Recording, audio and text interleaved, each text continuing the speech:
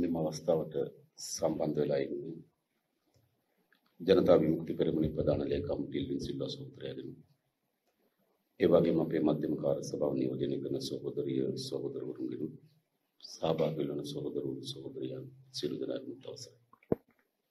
අපි දන්නවා අද අපි මේ සමරන්නේ ඉල්මහා මිරුවන්ගේ 35 වන වසර.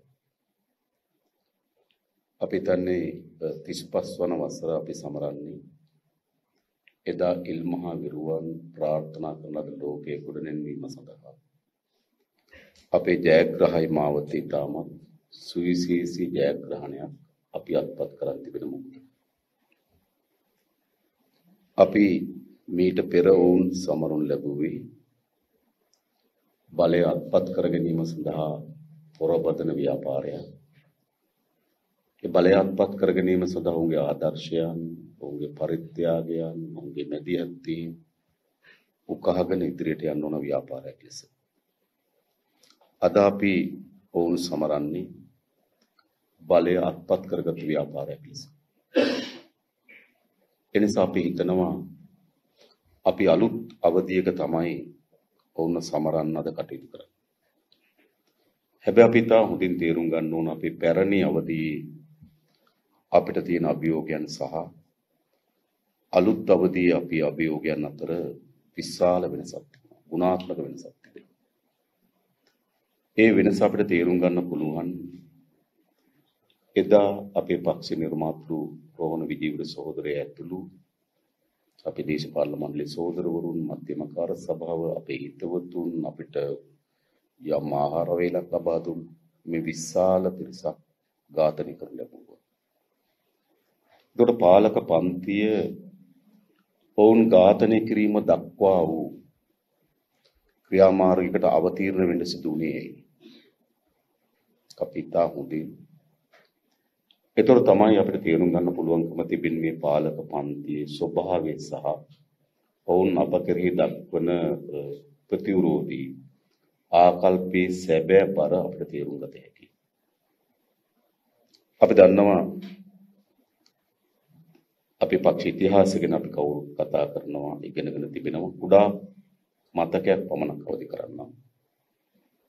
අපි 1978 වසරේ යලි ප්‍රජාතන්ත්‍රවාදී දේශපාලන ප්‍රවාහයට ප්‍රවාහයට ප්‍රවිෂ්ඨ වුණාට පසුව අපි තාම සාමකාමී ප්‍රජාතන්ත්‍රවාදී දේශපාලන වේගයේ ගමන් කරමින් තිබුණා. එම වසරේ පැවති අතුරු මැතිවරණයට අපි තරඟ වැදුණා. 1981 සංවර්ධන මැතිවරණයේ සංවර්ධන සභා මැතිවරණයට ශ්‍රී ලංකා නිදහස් පක්ෂ වර්ජනය කර පිටිබීදී අපි තරඟ වැදුණා. අපි ජනාධිපති වරණයට තරඟ වැදුණා. අපි මැතිවරණේ කල් දැමීම සඳහා කරන ලද ප්‍රජාතන්ත්‍ර විරෝධී ජනමත විචාරණයට එරෙහිව සටන් වැදුණා. එනිසා මැතිවරණ ව්‍යාපාර ශාස්ත්‍රයේ බැලුවා අපි ප්‍රජාතන්ත්‍රවාදී වෙනුවෙන් හඬ නගපු ප්‍රජාතන්ත්‍රවාදයට අනුකූලව වැඩ කරපු ප්‍රජාතන්ත්‍රවාදී ජයග්‍රහණ අත්පත් කර ගැනීම සඳහා විහිසුණු ව්‍යාපාරයක්. ඊට අමතර තව බාහිර ක්‍රියාකාරකම් ගොඩක් අපේ තිබුණා. හැබැයි ප්‍රධාන ලෙස ගත්තොත් මැතිවරණ පෙරමුණේ අපි ප්‍රජාතන්ත්‍රවාදී වෙනුවෙන් පෙනී හිටපු ප්‍රජාතන්ත්‍රවාදී වෙනුවෙන් ශක්තිමත්ව සටන් වැදුණු ප්‍රජාතන්ත්‍රවාදී ආරක්ෂකයන් හිටපු කටයුතු කරා. හැබැයි එහෙම කටයුතු කරමින් තිබියදී 1983 ඔවුන් විසින්ම නිර්මාණය කරන ලද සිදුවීම් උපයෝගී කරගෙන අපිව තහනම් කිරීමට භාවිත කරනවා. එහෙමනම් ඔවුන් අපිව තහනම් කිරීම එක තමයි මර්ධනයක නිශ්චිත හැරවුමක් අපි පක්ෂ දේශපාලන ව්‍යාපාරයකට අපි තහනම් කිරීම. તો දේශපාලන ව්‍යාපාරයකට අපි තහනම් කිරීමට හේතු වන්නේ කුමක්ද? අපි ප්‍රජාතන්ත්‍රවාදීන් පිටපැනීමද? අපි රට තුළ අනවශ්‍ය ගැටුම් නිර්මාණය කිරීම සඳහා මැදිහත් වීමද නැහැ.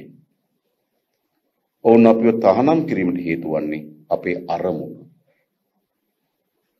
හොඳට අපි මතක තබා ගන්න ඕන. අපිව තහනම් කොට මර්ධනය කිරීමට හේතු වන්නේ අපි ප්‍රජාතන්ත්‍රවාදීන් පිටපැනීම හෝ අපි සමාජය තුළ යම් ගැටුමක් වියවුලක් නිර්මාණය කිරීම නොවේ. අපේ අපේ අරමුණ ජයග්‍රහණය කිරීම සඳහා තෝරාගෙන තිබෙන මාවත ජයග්‍රහණය සඳහා යමින් තිබෙනවා. එනිස ඔවුන්ට විශාල වමනාවක් තිබෙනවා මේ අරමුණ පරාද කරන්න. ඒ අරමුණ පරාද කිරීම තමයි. ඒ අරමුණට තමයි උන් බිය. තට මතක තබන්න. ඔවුන් බිය දක්වන්නේ අරමුණට. ඔවුන් අපිව තහනම් කරන්නේ අරමුණ නිසා. නැවත දේශපාලන ව්‍යාපාරයක් ලෙස අපි තහනමින් අපිට තෝරාගත යුතු මාවත් දෙකක් තිබුණා. එකක් අරමුණ අත්හැරීම. එමනම් අපිට නේද? ඒ වෙලාවෙත් සමහර දේශපාලන ව්‍යාපාරවල තහනම් ඉවත් කරන්නේ. අරමුණ අත්හැරීමෙන් අපිට ඉස්සරහට යන්න තිබුණා. එහෙම නැත්නම් අපිට තිබුණා මොකද්ද? තහනමට යටත්වත් අරමුණු වෙනුවෙන් කටයුතු කිරීම. ඒතර මම හිතනවා ඉල්මහා විරුවන්ගේ සුවිශේෂිම දායකත්වයේ ලක්ෂණය තමයි අරමුණ අත්තර සුව පහසු පාරක් තිබියදී අරමුණ වෙනුවෙන් ඊටමත් දුෂ්කර පාරක් තෝරාගෙන ඉන්න. ඒක තමයි තියෙන ඉඳ ඉඳ වැදගත් මේ අරමුණ. ඊට පස්සේ මොකක්ද වෙන්නේ? ඒ අරමුණ අපි ඊටමත් තහනම් කරලද දේශපාලන ව්‍යාපාරයක් ලෙස අපේ පැරණි අපේ සහෝදරවරුන් විදු විරුවන් ඒ අරමුණ වෙනුවෙන් ඊට අනුරූපී වන පරිදි ක්‍රියාමාර්ගවල යනවා. ගම්මල යනවා සංවිධානය කරනවා මේ අරමුණ ජයග්‍රහණය කිරීම සඳහා තහනම් වටපිටාව උපයෝග කරගන්න. එහෙනම් පාලක පන්තිට ඊළඟ තියෙන මොකක්ද? තහනම් කිරීමෙන් ඒ අරමුණ වෙනස් කරන්න බැරි වුණා. තහනම් කිරීමෙන් ඒ අරමුණ පරාජයටපත් කරන්න බැරි වුණා. නැවත අලුත් ආකාරයට ඔබින විදියට ඒ අරමුණ වෙනුවෙන් කටයුතු කරන්න පටන් ගත්තා. ඒ අරමුණ වෙනුවෙන් සටන් කරනකොට මොකද කරේ? එහෙනම් වුන් ඊළඟ තියෙන මොකද්ද? අරමුණ කියන එයම කා දමන්න බැරි නම් අරමුණ දරන මිනිස්සු මරා දමන්න ඕන. උන්ට මතක. අරමුණ මරා දමන්න බෑ. එහෙනම් දැන් මොකක්ද තියෙන්නේ? අරමුණ දරන මිනිස්සු මරා දැමිය යුතුයි. එතකොට තමයි අපි දන්නවා කියන සාමාන්‍ය මම දන්නවා සමාජයේ සාකච්ඡාවක් ගොඩනගනවා ඒ කාලේ සිදු සිදුවීම් මේකට හේතු වුණා. අපි පිළිගන්න අපි ප්‍රසිද්ධියත් මීට පෙරත් අපි අවස්ථා ගන්නාමකට පිළිගන්න තිබෙනවා. සිදු නොවී යුතු දේ සිදු වී තිබෙනවා. හැබැයි මතක තබා ගන්න. ඒ සිදුවීම් නෙවෙයි ඝාතනයට හේතු. අපි ඌනනය කරන්න පටන් ගත්තොත් ඒ වකවානුවේ අපි අතින් යම් සිදුවීම් සිදු වී තිබෙනවා නම් ඒ සිදුවීම් තමයි එය ඝාතනය කොට මේ විනාශ කිරීම සඳහා හේතුව ලෙස කල්පනා කරනවා නම් සිදුවීම් නෙවෙයි. සිදුවීම් සාමාන්‍ය සිදුවීම් තිබෙනවා. හැබැයි සිදුවීම් නෙවෙයි හේතුව මොකද්ද? අරමුණ. එහෙමනම් ඒ අරමුණ පරාජයටපත් කළ හැකි වන්නේ ඔවුන් කල්පනා කරනවා අරමුණ දරන මිනිස්සු ඝාතනය කොට අවසන් කිරීමෙන් පමණයි කියලා උන්තනවා. ඒ කොච්චරද කියනවනම් දේශපාලන ව්‍යාපාරයක මධ්‍ය කවේ නෙවෙයි. මෙතන මධ්‍ය කවේ තමයි මේක මේ. අරමුණ පෝෂණය කරන්නේ, වර්ධනය කරන්නේ, ධෛර්යය දෙන්නේ, ඉදිරියට පවත්වන්නේ. හැබැයි නොවිතන මධ්‍ය කවේ පමණක් විනාශ කිරීමෙන් මේ අරමුණ අකාමකා දමන්න බෑ. මේ නිසා මොකද වෙන්නේ? ඊට තියෙන පරිවාර කවයන් පවා ඝාතනය කිරීමට වුන් උත්සුක වෙනවා. ඒක තමයි වුන් කියන්නේ අවසානයේදී මැච් එක ඉවරයි. ඒක ඒ අඩංගුව තියෙන මොකද්ද? මැච් එක ඉවරයි කියන එක තුළ තියෙන කුමක්ද? අරමුණත් අවසන්. අරමුණු දරපු මිනිසුත් අවසන්. මැච් එක අවසන්. අපි හොඳට ගොඩක් අය මේක මේ ඒ කාලේ සිදුවෙච්ච සිදුවීම් වලට ඌනනය කරනවා මේ මර්ධනය. නෑ මේ සිදුවීම් නෙවෙයි. මේ මර්ධනය මේ ඝාතනය පිටුපස තියෙන්නේ අරමුණ. ඊට පස්සේ නැවත අපි 89 පස්සේ 1994 දී නැවත අපි දේශපාලන ව්‍යාපාරය නේද? ඊටාම සූහුඹුල් ලෙස පටන් අරගනිමින් මේක ගොඩනගමින් ගොඩනගමින් ඒතර අපිට තියෙන මොකක්ද? අපිව නැවත නැගිටින්න. නැමත මේ ව්‍යාපාරයේ ශක්තිමත් ව්‍යාපාරයක් බවට පත් කරන්න. අපිට බලපෑම ඇති කරන්නේ කොතනින්ද? අරමුණම තමයි. වෙන මොකුත් නෙවෙයි. අපි නැවත නැගිටවන්නේ. අප වරොත්තු දෙන්න ධෛර්යය දෙන්නේ. මේ ඔක්කොම අපිට කරන්න මොකද්ද? අරමුණ. එතකොට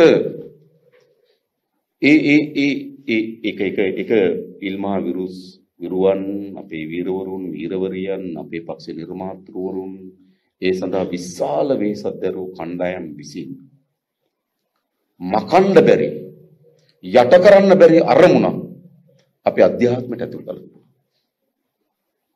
එනිසා නැවත අපිට නැගිටින්න නැවත අපිව සංවිධානය කරන්න නැවත ව්‍යාපාරයේ ජයග්‍රහණ සඳහා මෙහෙවන්න අපිව පොළඹවන්නේ කොතැනද? ඒ අරමුණ විසින් අපිට ඇතිකොට තිබෙන බලපෑම. ඊට පස්සේ නැවත 94න් පසු අපේ දේශපාලන ගමන් මඟ බැලුවොත් අපි විශාල හැලහැප්පීම් වලට මුහුණ දෙන කාලයක් අපි ගත කරනවා. පරාජයන් අපිට තිබෙන ව්‍යාපාරය ඇතුලේ බෙදීම් අපිට ඇති වෙනවා. ඒ වගේම සමහර ඒ ඒ ඒ මොහොතට අදාළයයි ඒ තියෙන ඒ තියෙන වාස්තවික තත්ත්වය ඒ මොහොතට අදාළයි ගත්තු තීන්දුව පසු කාලෙකදී අපි හැම කෙනාටම වැරදුනාදැයි කියලා මානසික පීඩනයක් ඇති කරනවා. ඒතර අපි විශාල හැලහැප්පීම් මැද්දේ අපි ජයග්‍රහණය අපි ගමන් කරමින් ආවා. අන්නේ ගමන් මාවතේ තීරණාත්මක එක තමයි සැප්තැම්බර් මාසේ 21 වෙනිදා අපි ජයග්‍රහණයක් පත් කරගෙන.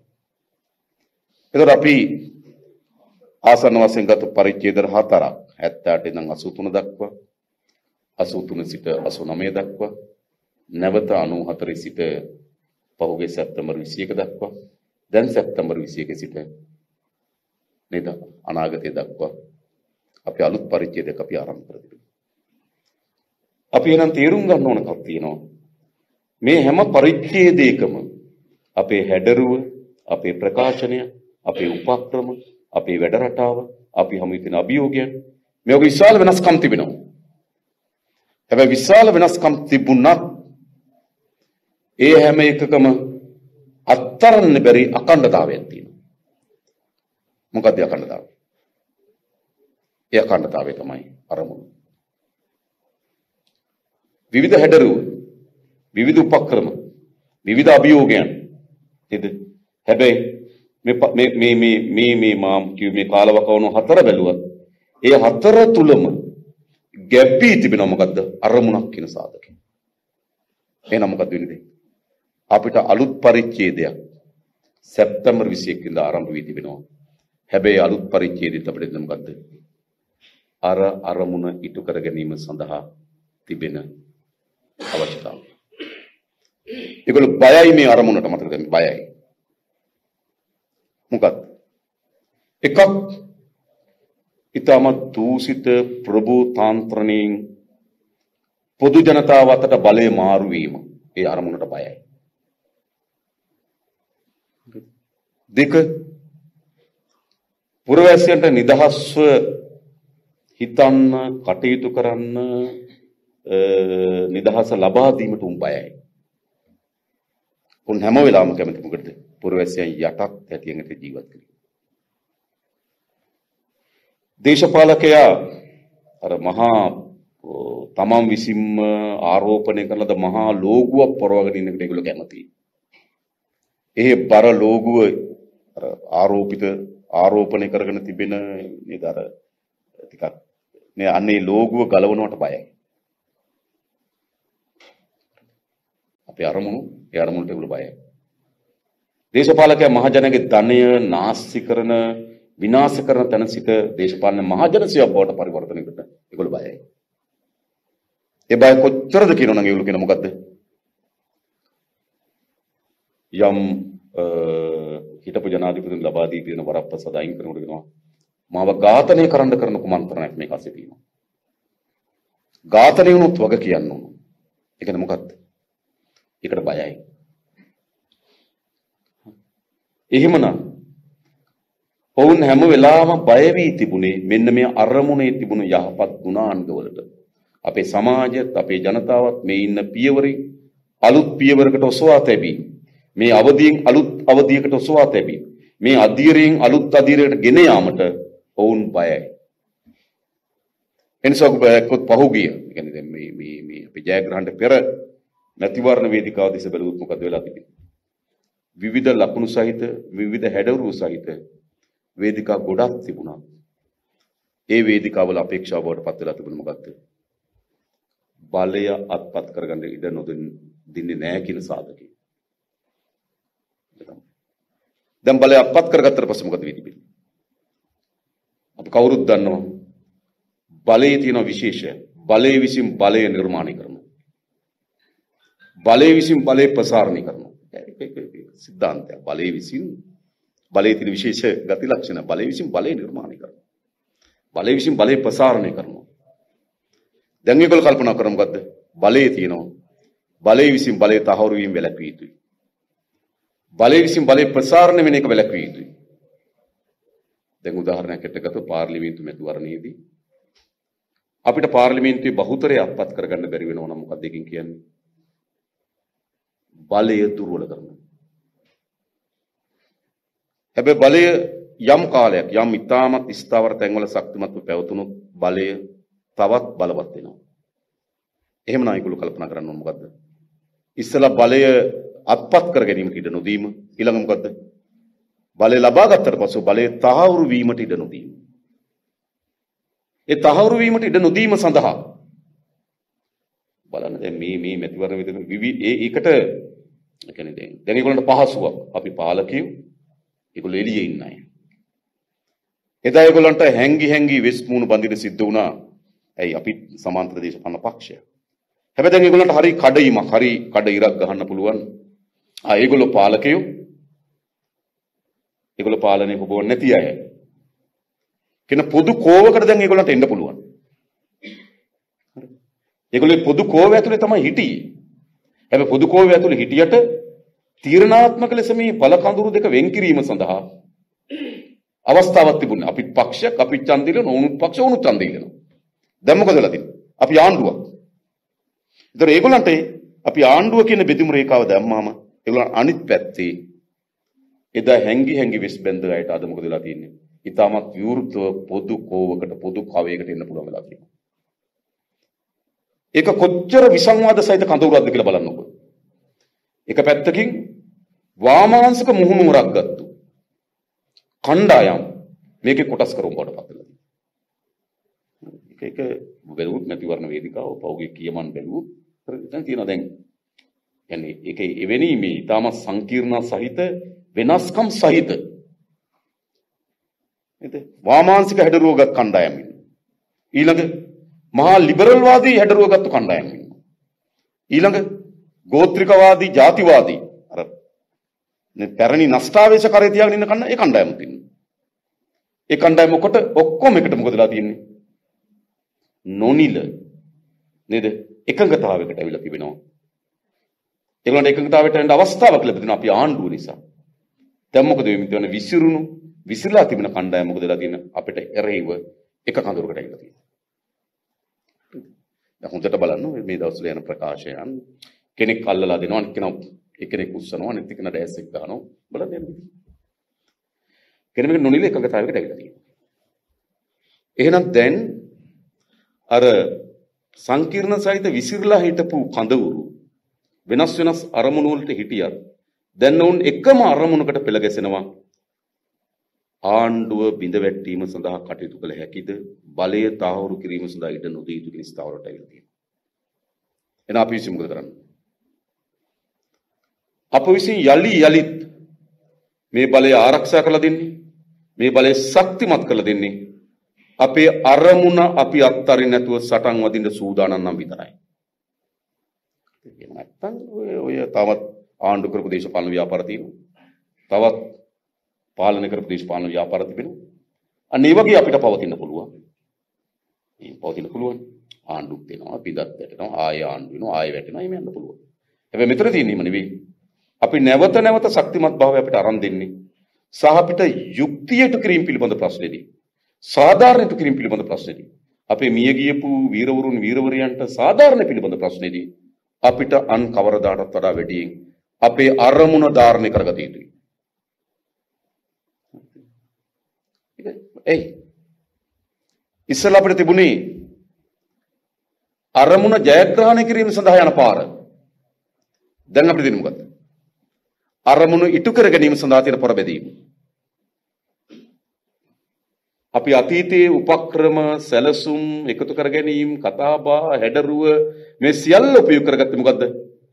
අරමුණ ජයග්‍රහණය කර ගැනීම සඳහා අවස්ථාවක් උදා කර ගැනීම. දැන් අපිට දෙන්නේ මොකද්ද?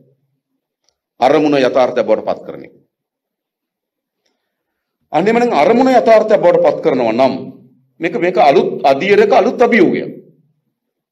අලුත් අධීරයක් අලුත් අභියෝගයක් අපිට තිබෙනවා. එදා අපිට තිබුණේ ඒක නෙවෙයි.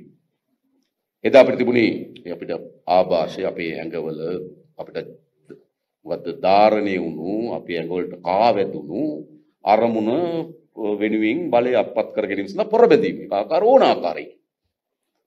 හැබැයි එතන තමයි අපි හිටියේ. දැන් අපි ඇවිල්ලා තියෙන මොකටද? ඒ අරමුණ යථාර්ථයක් බවට පත් කර ගැනීම සඳහා අවශ්‍ය මෙහිවීම. එහෙනම් ඒ මෙහිවීම අත්පත් කරගත්ත හැකි කොතනින්ද? සාම්ප්‍රදායික ගත්තොත් ආණ්ඩු බලයක් තියෙනවා. ආණ්ඩු උපක්‍රම හදයි, සැලසුම් හදයි, වැඩ කරයි, ඒවා කරයි කමක් නෑ. ආණ්ඩු වැඩක් නේ. හැබැයි ඒ සාර්ථක කර ගැනීම සඳහා ඒට ඉදිරි මඟ පෙන්වීම සඳහා එය මෙහෙවීම සඳහා අනිවාර්යෙන් පක්ෂයට විශාල කාර්යභාරයක් තියෙනවා. මා කියන්නේ පුද්ගලයන් ගත්තොත් පක්ෂය මාණ්ඩුවේ ඉන්නවා නේද? ඒක හරි. නමුත් මම කියන්නේ ඒක ශරීර වලින් වෙන් කරන්න බැරි වුණාට මම හිතනවා ඒක ඒක ඒකේ වෙනස් ගුණයක් තියෙනවා කියලා. ඒ නිසා අපි මොකද කරන්න ඕන? දැන් අර සාමාන්‍යයෙන් ඒ අධීරය ජයග්‍රහණය කරාට පස්සේ අපිට නිදහස් මනෝභාවයක් එන්න පුළුවන්. රයිට් අපි ප්‍රාර්ථනා කරා බලය අත්පත් කර ගැනීම. දැන් අපි බලය අත්පත් කරගෙන අවසන් කොට තිබෙනවා. සමහර අය අපිට කියලා තියෙන සහෝදරයා ඒ වෙනුවෙන් පොර බැදුවා දැන් නම් මට ඇති. සහෝදරයා ඒ වෙනුවෙන් අපි කටයුතු කරා දැන් මට මැරෙන්නත් පුළුවන්. කියලා තියෙනවා. ඒ කියන්නේ මොකද්ද? එතනද අපේ අවසානය. නෑ එතන අපේ අවසානය නෙවෙයි. බලය ලබා ගැනීම අපේ අරමුණේ අවසානයේ නෙවෙයි. අරමුණේ අලුත් අදියරක්. ඒ කියන්නේ මොකද්ද? ඒ අරමුණේ යථාර්ථයක් බවට පත් කර ගැනීම සඳහා අවස්ථාව දැන් ඇවිල්ලා තිබෙනවා. එහෙනම් අපි කිසිවෙකුට ඒ ඒ අවස්ථාව වෙනකොට අපේ හැඩවුරුකම් අපේ වගකීම් අපේ මොකද්ද අපි සමාජයට පෙනී සිටින ආකාරයන් සමාජය අපිව තේරුම් ගන්න ආකාරයන් ඒ හැඩතලවල වෙනස්කමක් වෙලා තියෙන එක වෙන්න වෙනවනේ. නේද? සමහර ජනාධිපති ධූර, අමාත්‍ය ධූර, නේද? සභාපති ධූර මේ විදිහට මේ එක එක එහෙම තමයි. හැබැයි ඒ ඔක්කොටම යටින් හරයක් වගේ තියෙන්න ඕන. මේ අරමුණ වෙනුවෙන් අපි කටයුතු කරන්නේ කොහොමද? ඒ නිසා මට හිතෙනවා අපි දැන් අලුතින් කල්පනා කරන්න ඕන අපි හැමදෙනාම. අපි හිතන්නේ අපේ ගමන අතනින් බොහෝ අය කියන මෙතන ඉවරයි සෝදරයෝ.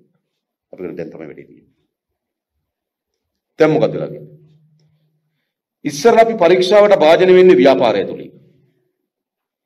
අපි සමාජයත් එක්ක මහජනයත් එක්ක තියෙන අපි බැඳීමක් තිබෙනවා වගකීමක් තිබෙනවා. නමුත් අපිට නිල බැඳීමක් සහ නිල වගකීමක් නැහැ. අපි ව්‍යාපාරය හදනවා ජනතාවට ආමන්ත්‍රණය කරනවා ජනතාවට කරුණු කියලා කියනවා. දැන් මොකද වෙලා තියෙන්නේ? ජනතාව විසින් අපිව තෝරාපත් කරගෙන තිබෙනවා. එතකොට අපි ව්‍යාපාරයක් ලෙස වැඩ කරනකොට තියෙන ජනතාවත් එක්ක තියෙන බැඳීම එදත් අපිට බැඳීම තියෙනවා.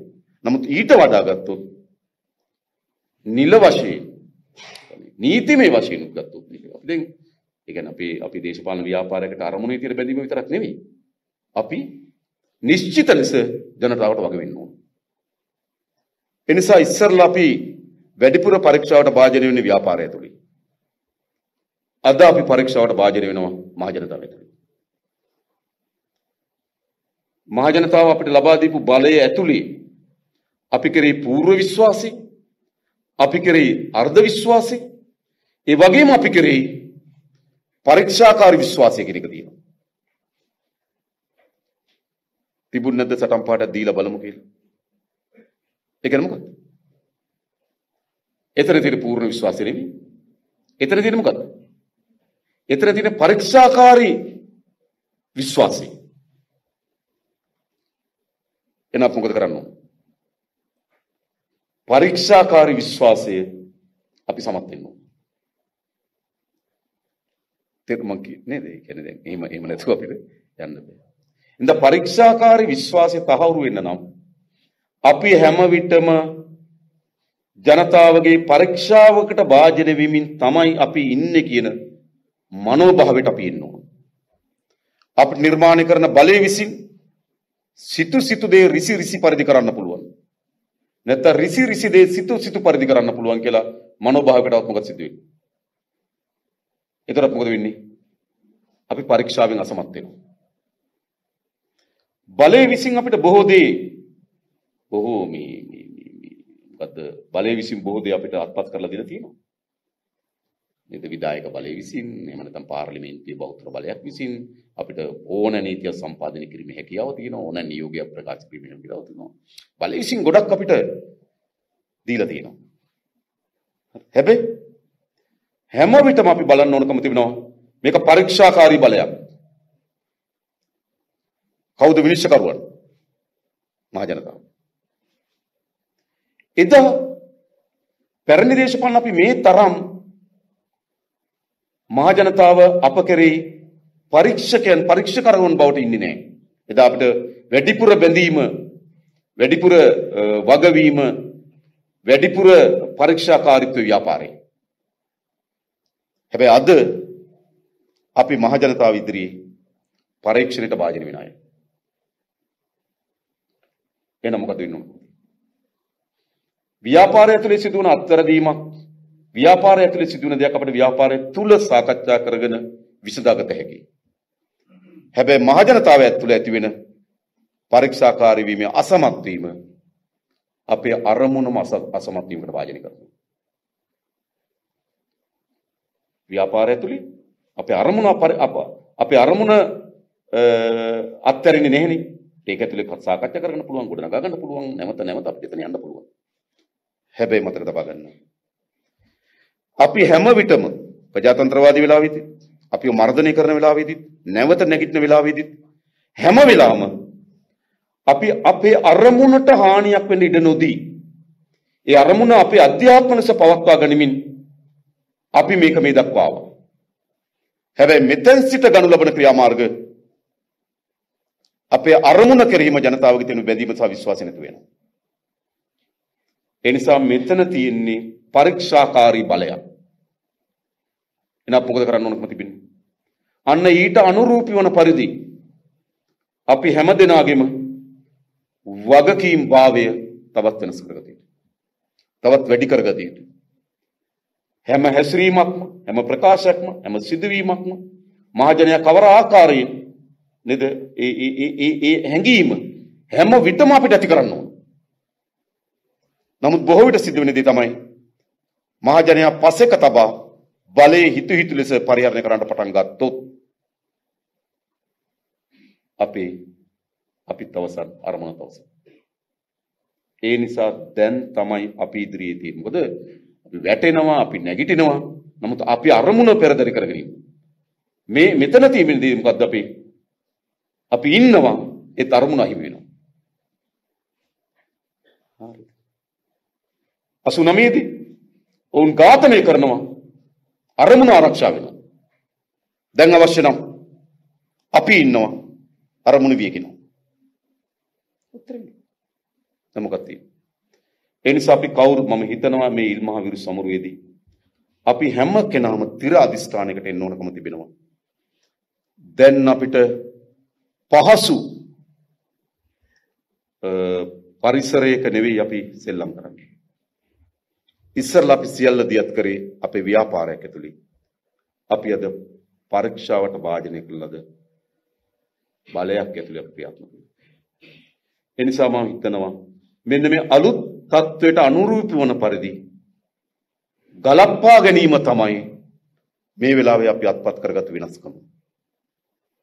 එම නැතුව ඒ කියන්නේ බලය කියන විශේෂ දෙයක් හොඳ එක එක එක එක එක එක බලය හොබවමින්ම බලය අත්පත් කර ගැනීමම තමයි ඒ බලයේ හැඩරුව බලයේ ස්වරූපය තේරුම් ගන්න පුළුවන්. ඒ තරම් බලය කියන්නේ බලයෙන් පිට දිනන තේරුම් ගන්න බැරිම දෙයක් තරම. බලය කියන්නේ හිම එකක්. හැබැයි අපි හරියට ඒ බලය විසින් අපිට හදා තිබෙන සීමාමායින් ඒ බලය අපේ පරීක්ෂාවට භාජනය කරන බලයක් කිය. ඒ බලය අපේ අරමුණ කරා අපි මෙහෙවීම සඳහා අපිට තියෙන මේ වලමක් කියන සාධක අත්තරලා අපි බලය ක්‍රියාත්මක කරන්න පටන් ගත්තොත් කලින් කිව්වාගේම අපි ඉතුරු වෙනවා අරමුණ වෙනසෙනවා. ඒ නිසා මට හිතෙන්නේ දැන් අපි නේද අලුත් ඇඳුම් ඇඳ ගැනීමට කාලය උදා වී තිබේ. මේක ඇත්තද? එනිසාම අපි හිතනවා මේ ඉල්මහාවිරු සමරුව අපි අපේ පැරණි සහෝදරවරුන්ට අපේ ගුරුවන්ට වීරවරුන්ට නිර්මාතෘන්ට ඊටම සාධාරණත්වයේ අඩක් නිම කරලා තියෙනවා. අපිට සතුටු වෙන්න පුළුවන්. අපි ඊටමත් අසීරුතා අභියෝගතා ඊටමත් තීරණාත්මක උපක්‍රම අපි සමහර අපේ උපක්‍රම ඒවා අපේ සීමාව ඇතුළට රඳවගත්තේ නැත්නම් මේක වෙන තැනකට ගිහිලා නතර වෙන්නේ. හරි ඉතින් පොරබදල අපි කවුරු පොරබදල අපේ උපක්‍රමය ඒ උපක්‍රම අපේ සීමාව ඇතුළට අපි ආරක්ෂා කරන්න සමත් වෙලා තිබෙනවා. හරිද? මම මේ ඔයාලට දැනෙන්නේ නැති මම මේ කියන මොනවද කියලා. ඒ කියන්නේ සමහර උපක්‍රම ඉතාමත් අවදානම් සහගත උපක්‍රම. ඒ අවදානම් සහගත උපක්‍රමය එක අධියරකින් පැන්න නම් අපේ ව්‍යාපාර මෙතන නෙවෙයි තියෙන්නේ. ඒ නිසා උපක්‍රමයට සීමා මායිම් තිබුණා. ඉතින් උපක්‍රමය හොඳයි. හැබැයි උපක්‍රමය හොඳ වගේ මොකද වෙලා තියෙන එකට සීමා මායිම් තිබෙනවා. ඒ සීමා මායිම් ඉතා හොඳින් අපි ආරක්ෂා කරලා තියෙනවා. ඒ නිසා අපි ඒ ඔක්කොම රහ ජයග්‍රහණයක්පත් කරන් තිබෙනවා. ඒ නිසා මම හිතනවා අපි ගියවර අපේ ඉල්මහා විරුවන් සමරනකොට අපිට තිබුණා නම් බරක් හදවතේ අන්නේ බරෙන් අඩක් අපි අවසන් කළා තියෙනවා. හැබැයි ඒක ප්‍රමාණාත්මක අඩක්. නේද? වෘත්තයක් තිබුණා නම් අපිට ගෝලයක් තිබුණා නම් ගෝලෙන් භාගයක් අපි අයින් කරන් තියෙනවා. හැබැයි බරම භාගය ඉතුරු වෙලා තියෙනවා. ඒ නිසා දැන් තියෙන්නේ මේ සමෘද්ධිය අපි අදිස්ථාන කරගන්න ඕන. ඔවුන්ට සාධාරණත්වයේ යුක්තිය වෙනුවෙන් බරම භාගය නේද? තව අපි මම කියන්නේ ඊළඟින් සමරුව කියලා. අපි තව නේද? තව සමරු කීපයක් සමරනකොට අපිට නිදහස් බරක් නැති මිනිස්සු හැටියට මේ සමරුව කරන්න අපි ප්‍රාර්ථනා කරනවා. අපි බලාපොරොත්තු වෙනවා. ඒ නිසා මට හිතෙනවා අන් හැම අධීරයකට වඩා අපේ ප්‍රවේශ සංසාගත වීම. ඉතාමත් හොඳින් අපි බලය හැසිරවීම. බලයේ තියෙන ස්වභාවයට මත් නොවීම. බලය කියන හරි විශේෂ කෙනෙක් ඕන කෙනෙකුට මත් වෙන්න පුළුවන් හොඳින්. මත් වෙන්න පුළුවන්. ඒ ඔක්කොම අපි තා හොඳින් අනුගමනය කරමු. අපි හිතනවා. තව වසර කිහිපයකින් ඉල්මහා සමරුව. අපට නිදහස් මිනිස්සු ලෙස අපේ බර නිදහස් කරගත්තු මිනිස්සු ලෙස අපිට සමරන්න පුළුවන් වීම. අන්න ඒ වෙනුවෙන් අපි හැමදෙනාම එකතු වෙමු කියලා ආරාධනා කරමින් මම නතර වෙනවා. බොහොම ස්තුතියි